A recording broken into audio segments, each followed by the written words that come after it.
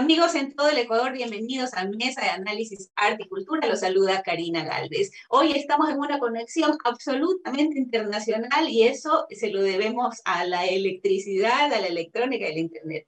Yo los saludo desde California y está con nosotros nuestro queridísimo invitado. Él, en cambio, está en Argentina y nuestro grupo de producción está en Ecuador. Está con nosotros Pancho pero no cualquier Pancho. Estamos hablando de Óscar Armando Martínez Pey, Pancho Martínez Pey, un máximo cuando hablamos de tango en Argentina. Este, este artista es cantante de tango, maestro de tango, bailarín de tango, hasta DJ de tango se ha hecho, pues qué impresión.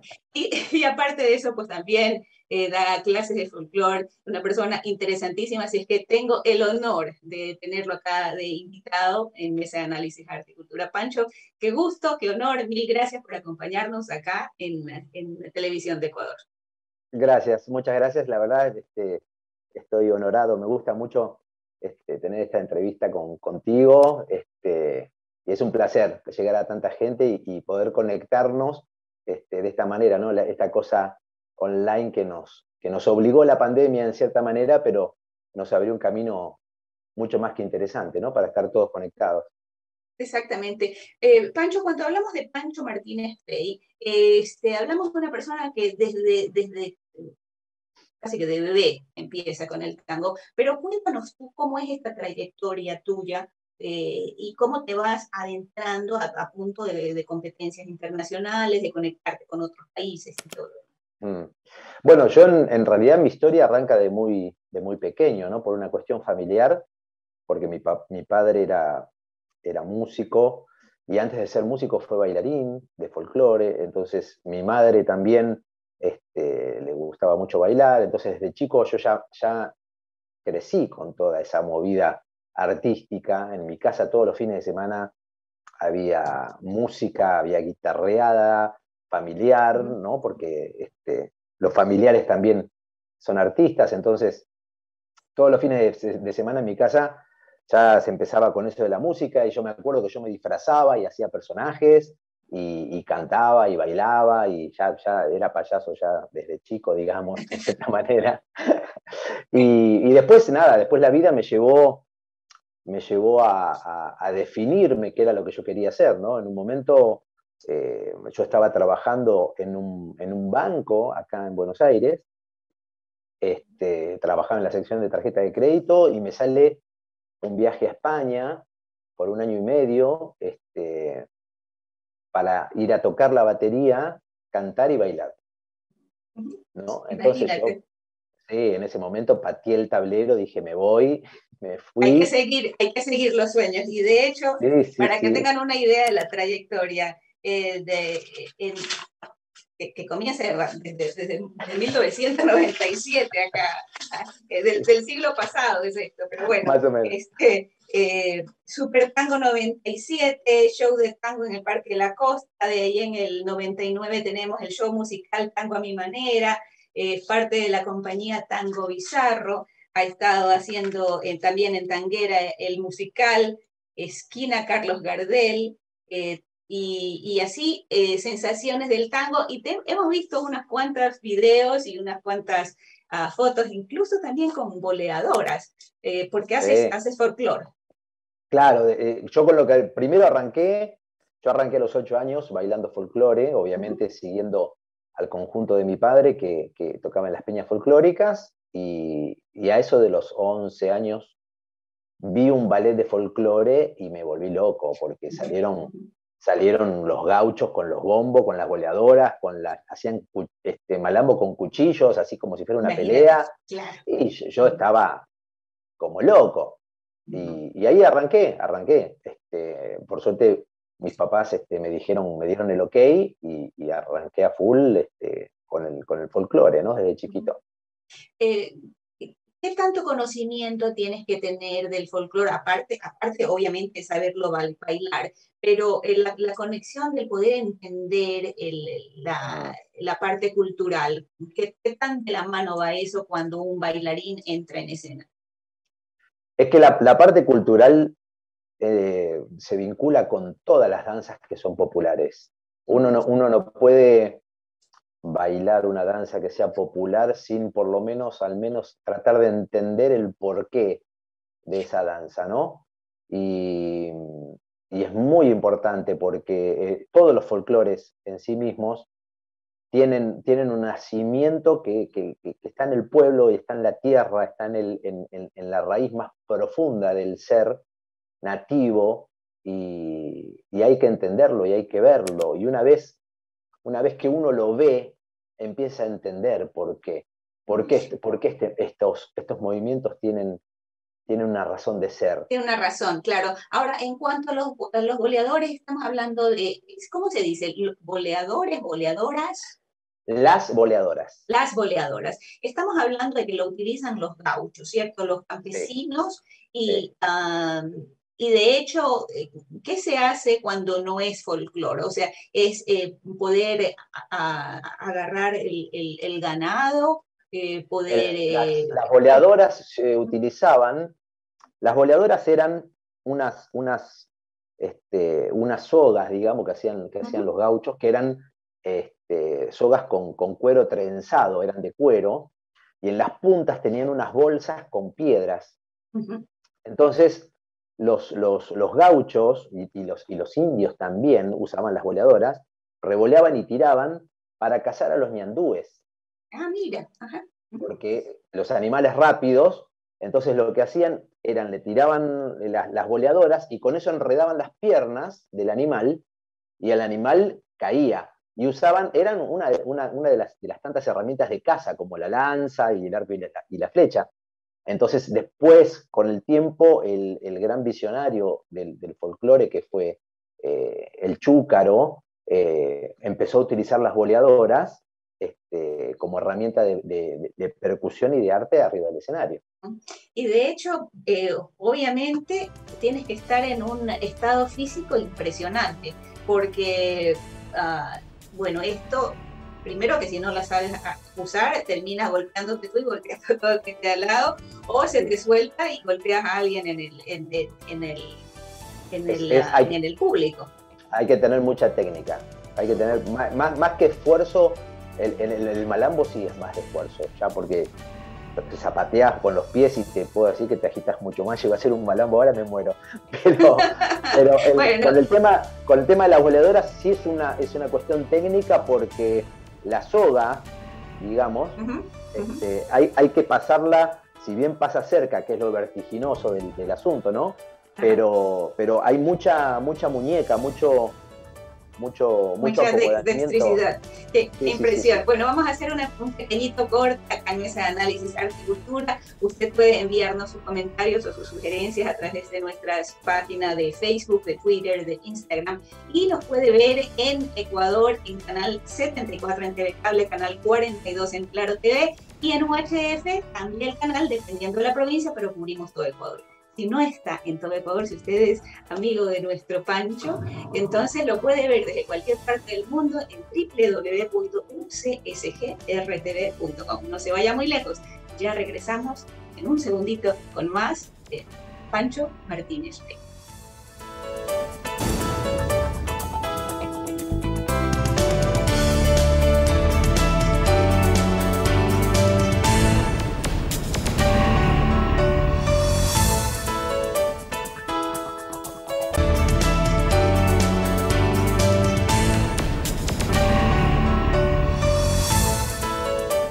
Gracias por seguir en nuestra sintonía. Soy Karina Galvez y continuamos en Mesa de Análisis Arte y Cultura con Pancho Martínez Bey. Eh, Pancho, eh, hemos visto pues, que has estado haciendo noches de tango en la Embajada de, Francia, y, pero también hay otras partes interesantísimas de tu vida que nos gustaría que nos, comentaras.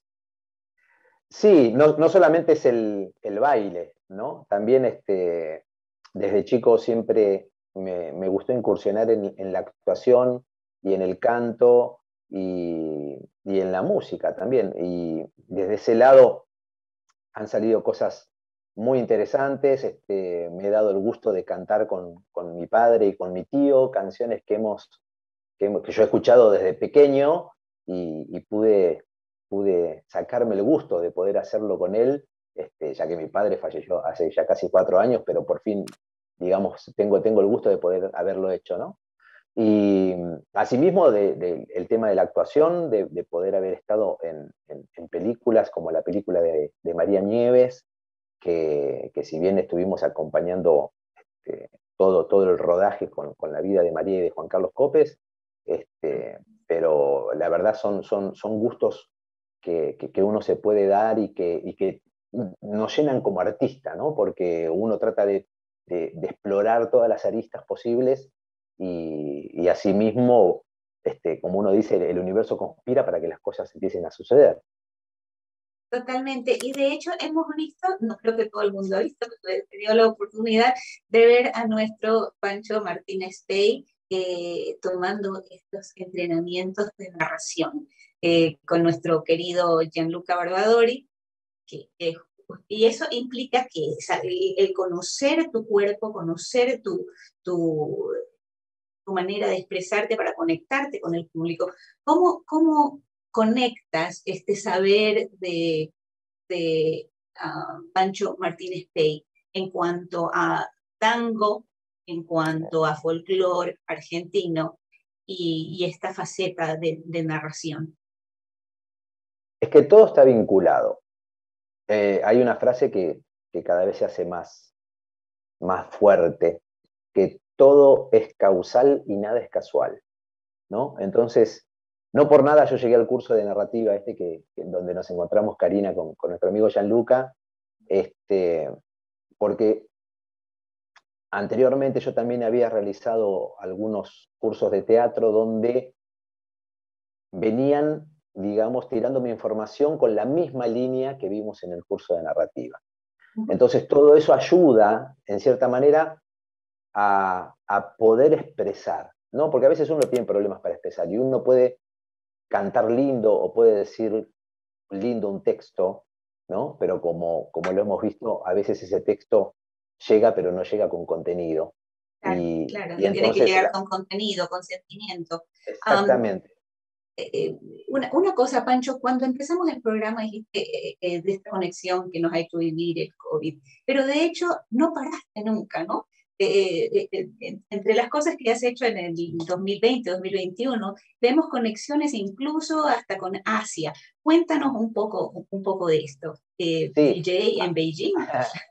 Al, principio, te digo, de la pandemia, yo me enojé, estaba, estaba enojado, pero porque, porque no estaba amigado con la, con la situación online, ¿no? Porque venimos de una situación muy física y muy de presencial, ¿no? O sea, a full.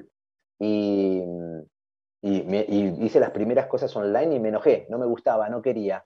Y dejé pasar un tiempo y al final después me amigué y, empecé a hacer cosas online, empecé a hacer clases o, este tipo de cosas. Como todo el mundo se empezó a abrir el, sistema online y me contactó un, organizador mío de Beijing, en China, y, nada, me, me, propuso si no quería ser DJ para hacer una milonga en vivo y le dije que sí, que claro que sí, y, ahí fuimos, porque él sabía que yo en Buenos Aires tenía mi práctica donde, donde yo pasaba la música, entonces él ha venido cuando estuvo acá en Buenos Aires, que generalmente vienen para las épocas del Mundial y todo eso, y entonces me invitó a que, a que hiciera de DJ en vivo para, para una milonga en China, que fue toda una experiencia.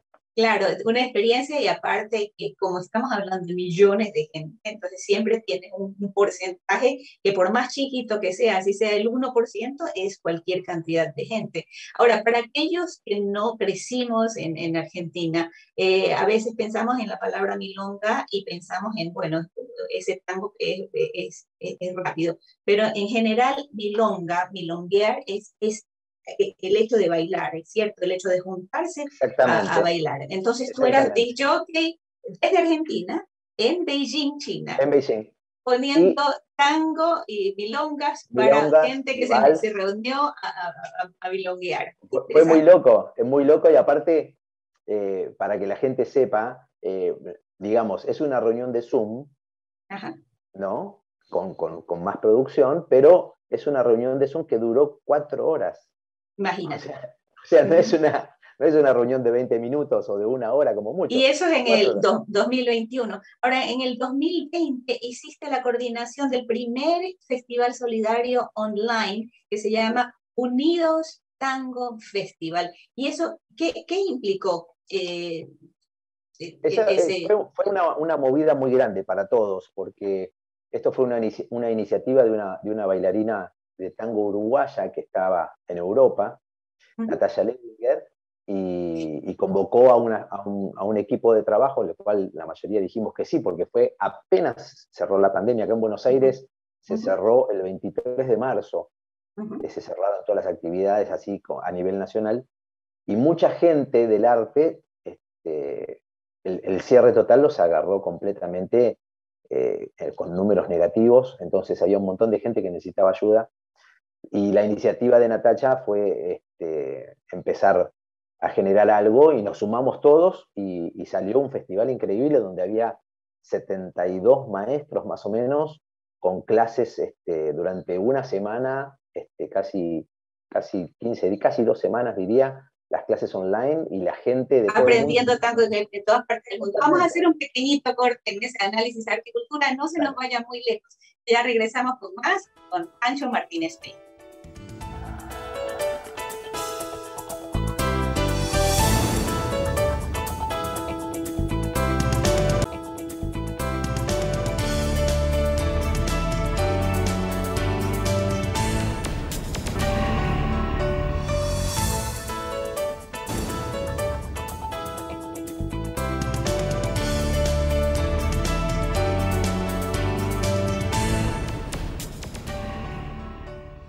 Gracias por continuar en nuestra compañía. Somos Mesa de Análisis Arte y Cultura en el canal de la Universidad Católica de Santiago de Guayaquil en uh, ah, UCSG Televisión de Ecuador. Y hoy es internacional. Es que el tango es internacional. Hablamos de Beijing, de Francia, eh, obviamente pues, de Argentina, Ecuador y demás. Y eh, continuamos conversando con Pancho Martínez Pey. Pancho, nos contabas de esta coordinación del primer festival solidario online. Más de 70 personas, en, 70 eh, maestros en el 70, 70 maestros que ofrecieron su clase, si bien eran clases cortas de 20 minutos, pero eran 70 maestros que ofrecieron sus clases y se podían ver la gente que entraba y donaba, se podía ver este, las clases eh, durante aproximadamente 10 o 15 días y hemos recaudado este, un dinero bastante, no, no, ha sido demasiado, pero hemos, recaudado bastante y después ese dinero se lo hemos eh, enviado, se lo hemos hecho llegar, que fue la parte más difícil, a toda la gente que estaba alrededor del mundo necesitando algo de plata porque la pandemia los había agarrado en cero por ser artistas o este, por ser, o, principalmente artistas o gente en general. Sabes que es, difícil ver en, en, ah, en, televisión, pero si tú me vieras, en este momento tengo, se dice en Ecuador, el cuero de gallina, ¿no? tengo la, piel erizada. La piel de gallina. Porque justamente en, uh, en el mundo entero, la pandemia golpeó tanto, tanto, tanto a los artistas, porque te cierran los lugares de eventos, te cierran los hoteles, eh, cancelan eh, festivales, no puedes reunirte con tanta gente, y entonces, ¿qué haces? Tienes que comer de alguna manera. Entonces es en realidad loable que se hayan juntado estos profesores del mundo entero y haciendo uso de la electrónica poder eh, recolectar fondos y poder llegar a darle un plato de comida o, un, cómo salvarlo. Es que, es que eh, hay personas que no están en, en, el arte, la cultura, que no se dieron cuenta que efectivamente había gente muriéndose de hambre. Y no, no, es, no, no es una exageración. Ahora, en, en el 2019, la Academia Nacional del Tango te designa como académico Generación Tango Intermedio en reconocimiento a tu distinguida trayectoria artística. Y haces también, con, junto con Lorena Hermosida, una gira internacional y te vas por eh, Freiburg, Hamburgo, eh, te vas a Australia, Taipei, y no solamente Taipei, Tainan, eh, Kaohsiung, a Corea del Sur, te vas a, Beijing, Shanghai, Shenzhen. Imaginaste esto cuando, cuando bailabas a los ocho años y decías, yo quiero hacer. Impensado. Mira, em, tengo una anécdota muy linda con eso. Cuando yo quería empezar a trabajar, cuando era adolescente, eh, voy a un lugar donde era para trabajo y la persona que nos recibe eh, nos hace así como un, un, tratamiento a todos los postulantes y nos hace grabar un cassette, en ese momento era cassette, nos hace grabar encerrados, nos, nos dijo, enciérrense en el baño, cierren los ojos y digan los sueños que tienen. Y mi sueño era viajar en un avión, llegar a un lugar importante, que nos reciba gente importante y este, bailar en un teatro y que en la primera fila estén mis padres. Ay, qué belleza. Oh, es, que, logra, yo no sé si es el curso de narración o qué, pero se me pone la piel de gallina cada Pero llega, llega, llega, porque está, está, está, está, sigue estando como vivo eso, ¿no? Claro, claro. Y es que esa es justamente la conexión también que tienen muchos niños de poder hacer las cosas en grande, pero que papá y mamá estén ahí. Que papá y mamá estén, y, es, es, eh, tremendamente importante. Pancho, parece mentira, pero el tiempo se nos ha ido tan, tan, tan rápido, así que ojalá que en algún otro momento puedas acompañarnos. Con, sí, cuando quieras. alguna especialización, qué sé yo, conversando sobre algo específico pero qué lindo, qué lindo poder tener acá en ese análisis de agricultura y poder compartir con el mundo entero esta joya artística eh, y no solamente como, como, como artista, sino como ser humano, como ya ustedes vieron. Muchísimas gracias, Pancho. un placer, un placer. Muchas gracias, por la convocatoria. Gracias, y gracias también a ustedes, nuestros queridos televidentes, quienes nos acompañan desde sus casas o desde sus trabajos. Soy Karina Gálvez y esto es Mesa de Análisis Arte y Cultura en el canal de la Universidad Católica de Santiago de